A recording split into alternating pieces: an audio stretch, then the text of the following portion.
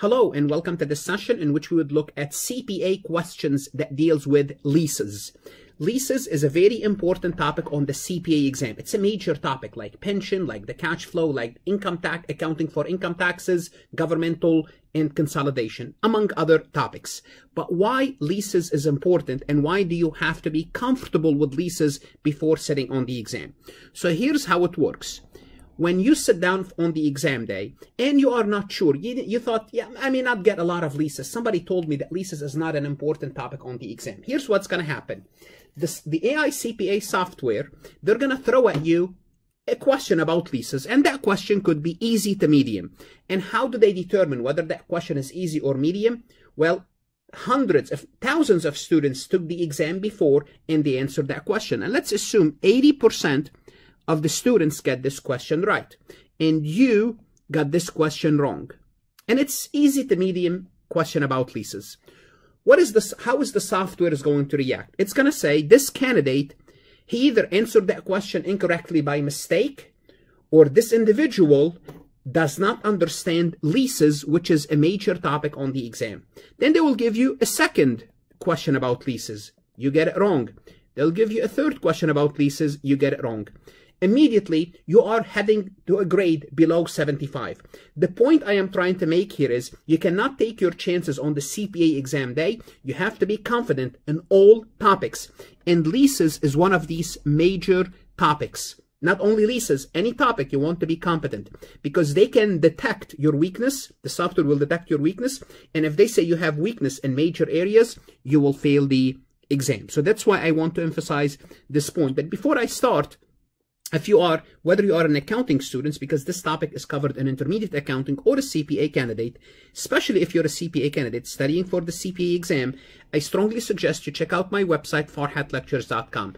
Now, you might have Becker, Roger, Wiley, Gleim, good for you. I'm really happy for you. You need to have those courses. I don't replace them. What I do is I can be a useful addition to your CPA course. I can add 10 to 15 points to your score by helping you understand the material better. I don't sell you, I'm not, you know, air or snake oil. I sell you actual teaching knowledge. So I'm not selling you strategies or how to do things. I'm selling you the knowledge you need, the basic you need to do well on your CPA prep courses and and at the end of the day do well on the CPA exam. And here's my offer to you.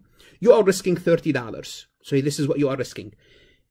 Invest $30. Try my system. You like it, keep it for the next month. If you don't like it, cancel. So your loss is $30. What is your potential gain? Your potential gain is passing the CPA exam. Are you willing to take that chance? It's up to you if you're studying for the CPA exam. Always, if not for anything, check out my website to determine how well is your university doing on the CPA exam on average? I have average score by university as well as section. If you are an accounting student, I have plenty of accounting courses and resources. Connect with me on LinkedIn and check out what other people, other people means successful candidate that they used my system along their CPA review course and they passed. Please like this recording and share it on YouTube, Twitter, Facebook, anywhere you can share it. Connect with me on Instagram and Facebook. So let's take a look at the first question.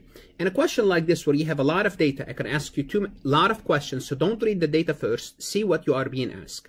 You are being asked, what is the outstanding balance of the lease liability in Exton's June 30th balance sheet? Now, why do I ask you to read the question first? Because I can ask you 10 different MCQs about this question. So you want to know what you are looking for because you could be buried. You could be spending five minutes just to kind of go over the data. Now you are focusing. You need, you want to know what's the lease liability. West Goshen Tech sells computer system. West Goshen leases computer to Exton Company on January 1st, 2021. The manufacturing cost of the computer is 19 million. So notice, the manufacturing cost of the computer, it's not really any way relevant to me because I'm looking for Exton. So this is basically out. Like it just this way you don't have to worry about this information because the cost of the manufacturer is not part of the question. This is a non-cancelable lease, has the following term. The lease payment, that's important, 3,287,947. It's semi-annual, twice a year. First payment January 1st. Remaining payment on June and December each year through June 30th, 2025. The lease term is five years, 10 semi-annual payment, no residual value, no purchase option, economic life of the equipment is five years, implicit interest rate, and let's see incremental borrowing rate 9%. Fair value of the computer as of January 1st, 23 million. This is important. Okay, so let's start with this. So what are they asking us? They want to know Exton leased that equipment. What is their lease liability as of June 30th, 2021? And the dates here are extremely important, just in any problem, but especially with bonds and leases, extremely important. So you started the lease January, the lease January 1st. Now, you are not giving the present value factor to find the present value of the payment, but you are giving the fair value of the computer. We're going to be using the fair value of the computer. Simply put, as of January 1st, 2021, you have a lease liability. You have a lease liability of 23 million. And this is immediately January 1st. Also, what happened immediately on January 1st, you made your first payment you made your first payment. What does that mean? You made your first payment. You are going to reduce your lease liability by the payment. And you made a payment of three million two hundred eighty-seven thousand nine forty-seven. Now, you want to know what is your balance right after this lease payment. Once again, why am why am I doing this? Because you made the lease payment immediately. Therefore, I have to reduce my I have to reduce my my balance. Okay, so there is no interest involved in this payment. So I, I started with 23 million. I made a payment of 3,287,947. And that's going to give me a balance of 19 million, 19 million, $712,053. And this is one of the answers, but that's not what they're asking us. If they ask you, what is the balance as of January 1st, 2021, that will be the answer. But that's not the answer. So I, immediately I will take this one out. Immediately I take C out as well. Notice I went down to 50-50. I didn't even do anything yet. I know it's it's not gonna be the paint. It's not gonna be the fair value of the equipment because I'm gonna be making a payment later on. So immediately you could have take out C. Okay, it cannot be the balances of June 30th. And right after my first payment, you know, my balance went down. It cannot be D. So now I'm down to 50-50. If I have to guess, you can guess at this point. But don't guess. You can do this. You can work this question real easily. Well, what happened is this was January 1st. Now, by June 30th, you're going to be making another payment. How much is the payment? The payment is 3,287,947. The payment is fixed. What's going to happen on that date when you make the payment? You are going to split the payment into two components. One component, sorry, will be interest, and one component will be the li for the liability, for the principal. So one component is interest, the other one is for the principal or against the liability itself. Now, how do I know which one is the principal, which one is the liability? This is why I had to compute this balance first, the 19,712,53. So that's my balance as of the beginning of this period. And the interest rate I am being charged is 9%. So that's going to give me interest component of 1,700,000 $74,085. So simply put, of this payment, the interest is $1,774,085. And the remaining must be the liability reduction, which is 1,513,000. Let me just you do the computation here. So 3,287,947. 3,287,000. $947 minus the interest component, $1,774,085. What I'm left with is $1,513,862. So this is gonna, again, so what's what's the entry? Simply put, the entry is going to be, you debit the liability, 1,513,862. You credit interest expense, 1,774,000.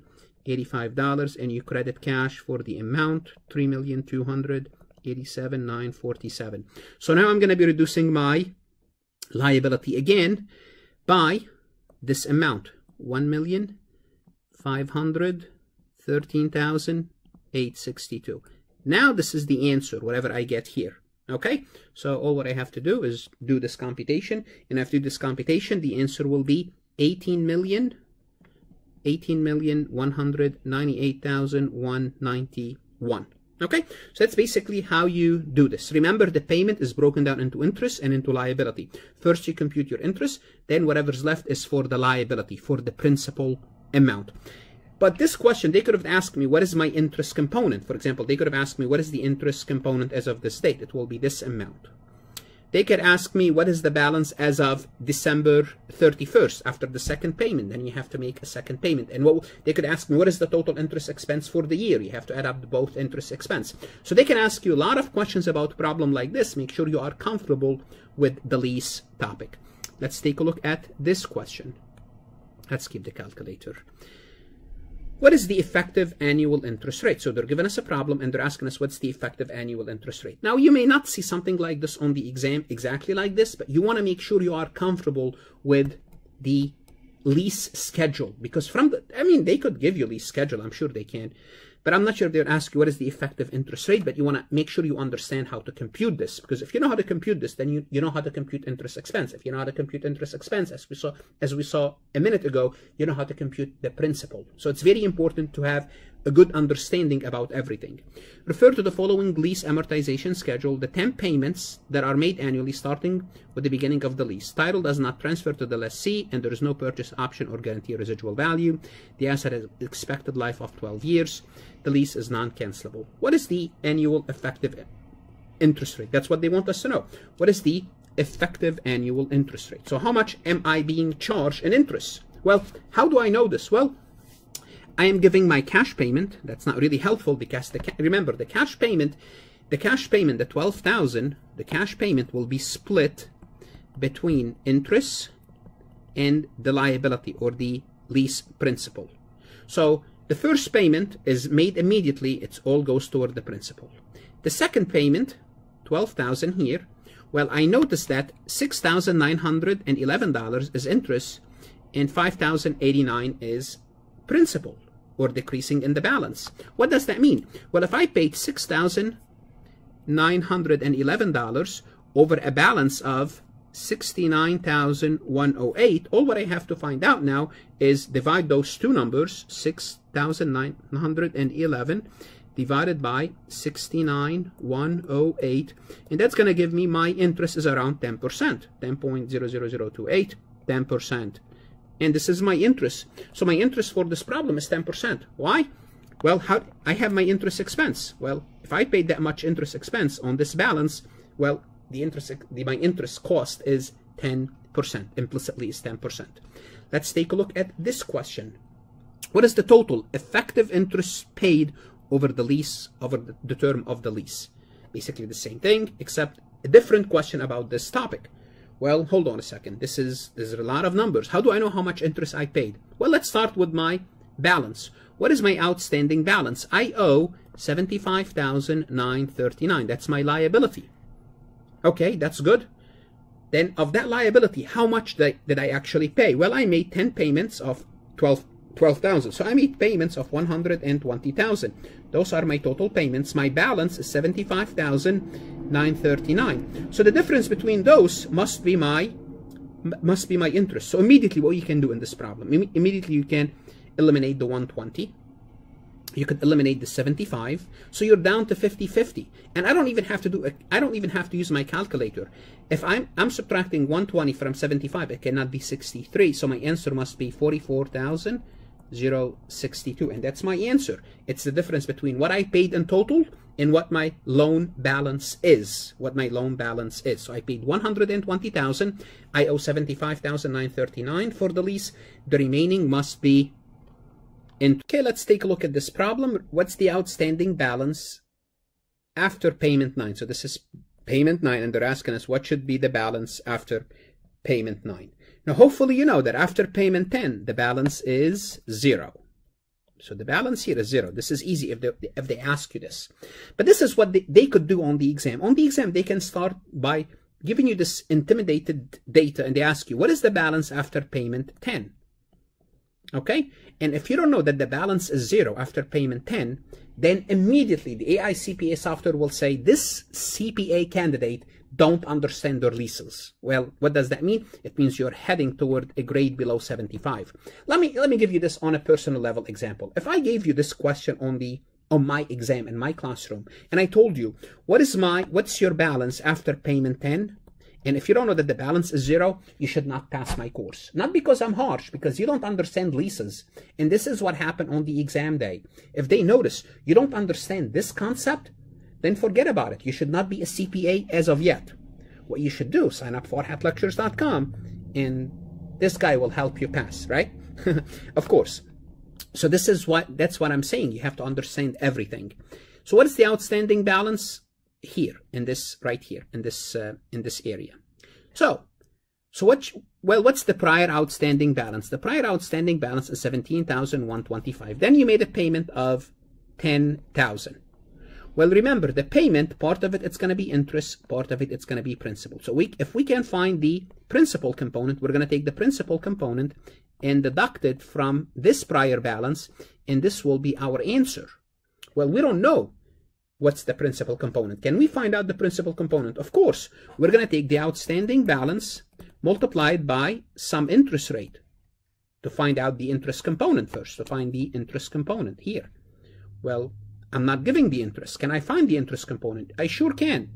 It's 6,091 if I take my one of my interest expense divided by the prior balance, I will find out that I am being charged 11%. Well, now it's easier, 11%. So I'm going to take 0.11 times 17,125, and that's going to be 1,883 of interest. 1,883, let's make it 84. So of this $10,000, 1,884 is what? Is is uh, expense. Therefore, if I take the difference between this and the remainder of the payment, 8,016 8016 is the principal. Now I, I find out what I need to find out. I'm going to take 8016, so, and find the difference between that and the prior balance. And prior balance should be 17,125. And that's going to give us a balance of 9,000, $9,009. And the answer is this. Now, if I made one more payment, now my balance is $9,009. If I made one more payment, if I made one more payment of 17,000, um, I'm sorry, if I made one more payment, now the balance is 9,900 times 11% times 0.11. So my um, my uh, my interest expense 990, my interest expense will be 990 uh, uh, for the payment 10 and my remaining balance from this this payment will be voila $9,009 $9,009 and the prior balance was $9,009 and my remaining balance will be zero. There we go. So I showed you after year 9 and after year 10. But you don't want to do year 10. You don't want to waste your time. If they ask you what is year 10 is, well, say this is a two second question. If they ask you what is the balance in year 10, it should be zero because the balance at the end of the life of the lease or the bond, once you amortize everything, the balance should be zero. You pay that off. Okay, the balance should be zero. Now, again, at the end of this recording, I'm going to ask you to like this recording, and I invite you again to check out my website, farhatlectures.com. Again, I'm going to give you this challenge. Are you willing to try to try my website for $30? Okay, it's going to supplement your courses, and I have lessons that goes with your courses to find out if you can get that extra 10 to 15 points to pass your exam. So simply put, the CPA exam will pay you dividend for years to come 20, 30, 40 years. Are you willing to try $30 to find out whether you can get there? That's, that's all what I'm offering you. Anyhow, good luck, study hard, and of course, stay safe.